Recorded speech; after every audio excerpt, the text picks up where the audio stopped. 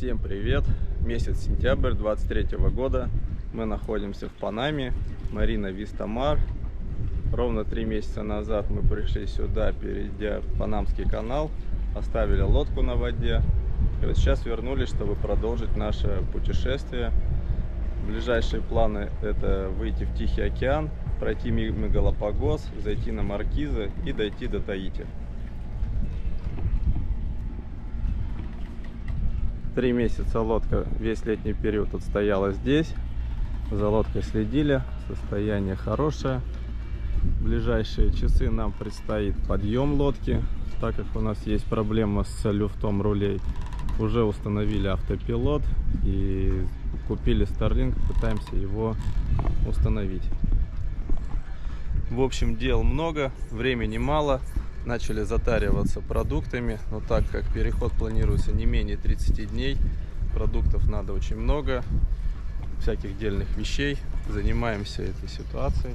Взяли машину в прокат, но самое главное сейчас это у нас подъем, чем мы сегодня и будем заниматься. Дождались самой высокой воды нашего дня, очереди. Вот пеликан полетел. Идем на подъем. Медленно, но уверенно пробираемся. Вода высокая, плюс 4 метра, но все равно неизведанное место. Лучше быть аккуратней. Привязали кранцы по борту. Подготовили 6 веревок. Два ассистента на борту. Двигаемся. Подошли к причалу. Вот такой причал. Вот это чудо-телега, которая должна нас вытащить. Водолаз в воде. Похоже, вяжет веревки с этой стороны.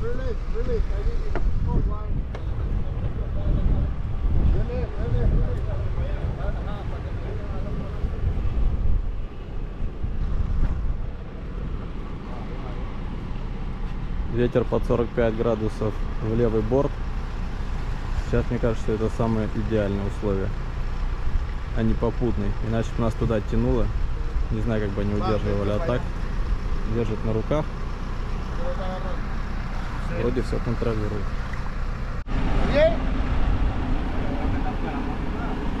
Нос уже подхватили опорами, выдернули с воды. Вот так он висит.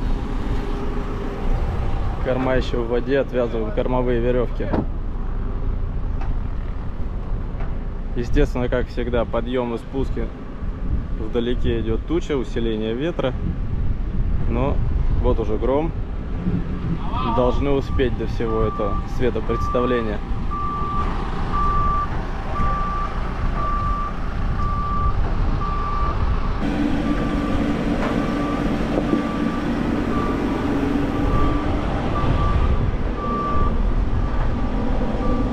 Натягивает тучу все ближе ближе. Водолаз уже остался в воде. Процесс пошел. Да, это мы еще стояли закрытые от ветров, потому что с подветренной стороны, с наветренной, смотрите, даже ветер сильный.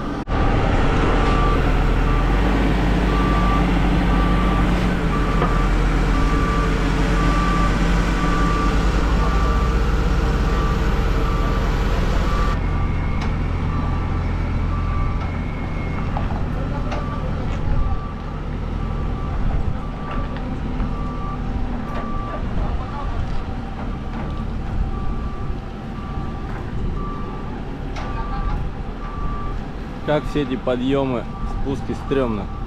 Особенно на таких конструкциях, качающихся.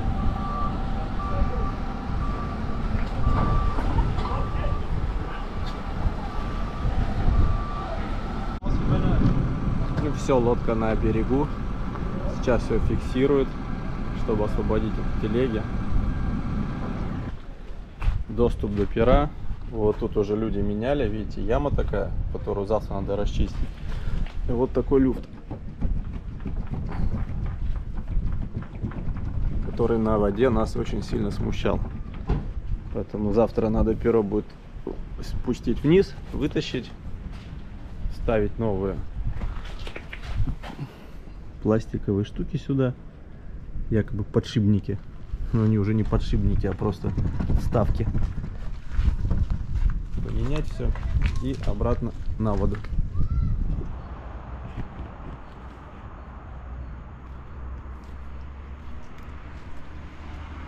Такой вот кошак сидит на капоте машины. Ситуация следующая. Так как лодку мы подняли, она стоит в техзоне. В техзоне ночевать на лодке не разрешили. Пришлось снять отель. Сняли какие-то апартаменты, приехали, там ни ключа, ничего нам не дали. В общем, заселиться не получилось. Пришлось искать другой отель, что поближе. В общем, заселились в отель.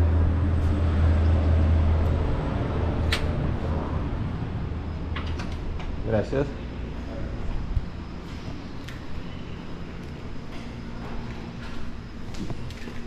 Такой вот отельчик у нас. Коридорами. Пробираемся к себе в номер.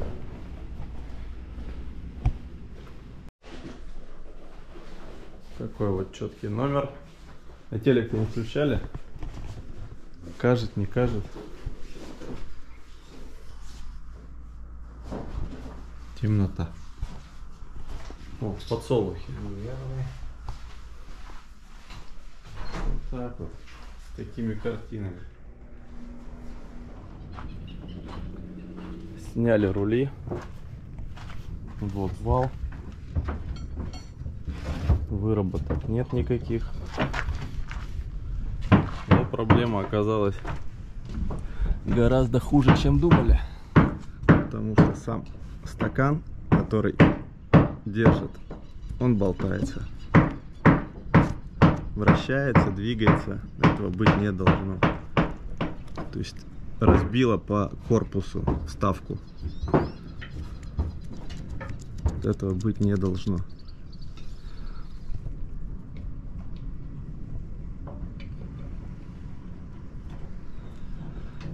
Значит, ремонт будет дольше, чем планировал.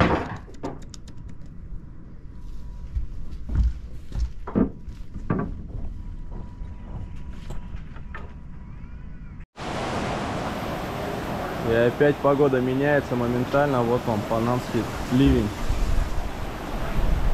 С ветром, совсем подобающим. Хорошо, что сейчас нет подъема. Одно, что надо клеить рули. Конечно, все это будет нам сильно мешать.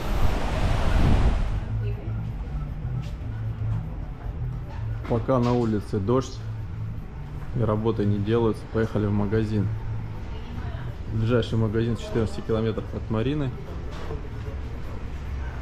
Он, конечно, более рыболовный, нежели яхтенный.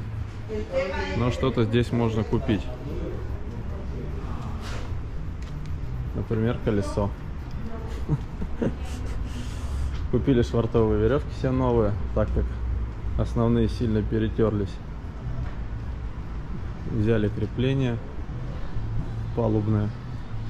И купили новую удочку, вторую. Теперь будем ловить больше рыбы. А может просто чаще.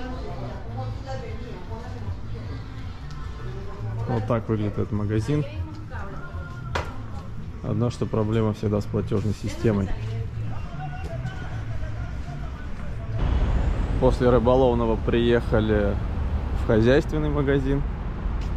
Есть у них такие торговые павильоны с хорошими брендами. И вообще выглядит все цивильно. Starbucks, отдельное здание. Шикарное. В общем, Панама страна контрастов. Магазин напоминает наш, условно, наш Леруа Мерлен. Походив чуть-чуть по магазинам, которые отчасти увенчались успехом, Проезжая мимо по трассе, которая идет в Вистомат, остановились в кафешке на обед.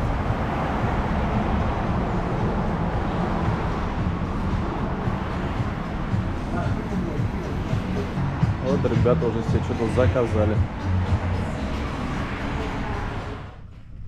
Только что сходил в иммиграционный офис, который находится недалеко от Марины. Узнал их возможности оформления лодок ухода за пределы Панамы. Она такая есть, то есть не обязательно ехать в Панаму. Можно поставить все печати на судовые документы и в паспорта. Сейчас возвращаюсь в яхт-клуб. Дорога идет через пляж. Тут какая-то деревня рыбаков.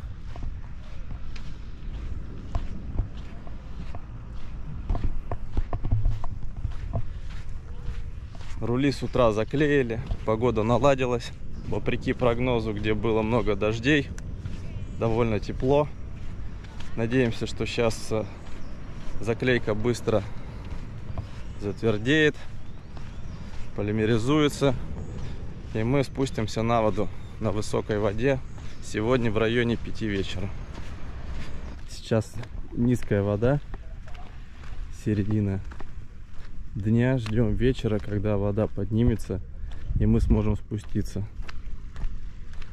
Вот смотрите, какой перепад уровня воды. Сейчас причал высох. Идти по нему удобно.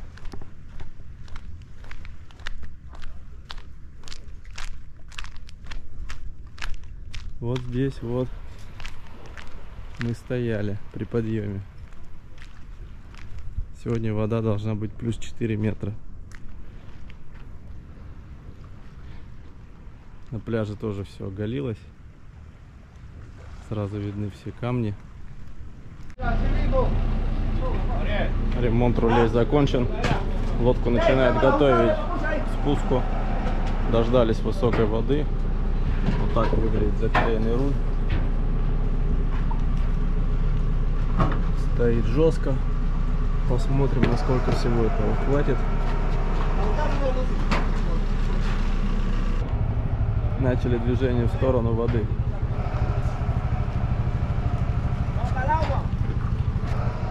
Уровень такой, что он первые покрышки уже скрылись полностью под водой. То есть как раз то, что для нас надо.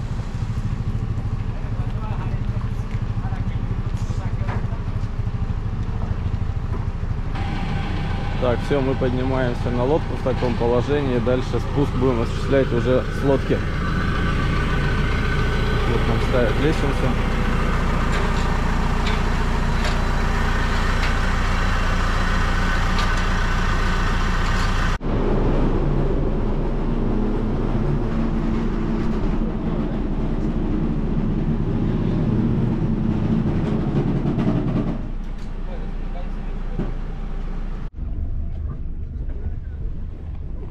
Сразу после спуска решили зайти на заправку раз уж погода благоприятная, полный штиль, чтобы лишний раз не швартовываться.